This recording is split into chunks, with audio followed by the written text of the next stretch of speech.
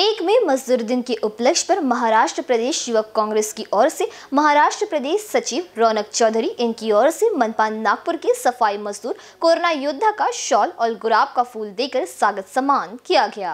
सफ़ाई कामगार नागपुर शहर में महामारी के दौर बीते कई दिनों से लगातार अपनी सेवा जान जोखिम में डालकर कर रहे हैं। ऐसे में अखिल भारतीय सफ़ाई मजदूर कांग्रेस संगठन के महाराष्ट्र सचिव विक्की बघेल इन्होंने बताया कि नागपुर शहर की जनता सुरक्षित रहे इसलिए मनपा सफ़ाई कर्मचारी अपनी सेवा सिर्फ़ सेवा के तौर पर नहीं तो इस भयावह स्थिति में देश सेवा कर रहे हैं। एक तरफ़ शहर भर में हर तरफ़ लॉकडाउन का दौर चल रहा है। उसी तरह रोज सुबह शहर की जनता के जागने के पहले शहर की सफ़ाई कर, स्वच्छता कर, बीमारी को फैलने से रोकता सफ़ाई मजदूर है। इस पर कई बार उनकी जान पर भी बनाती है। इस तरह पिछले वर्ष भी कोरोना काल में अपनी सेवा देते हुए बारह सफ़ाई मजदूर अपनी जान गवा बैठे हैं और आज तक मनपा प्रशासन, उन्हें प्रधानमंत्री गरीब कल्याण पैकेज के अंतर्गत मुआवजा 50 लाख सानुग्रह देने में असमर्थ रही है। और आज वही लॉकडाउन का दौर दोबारा शहर में फिर बन गया है।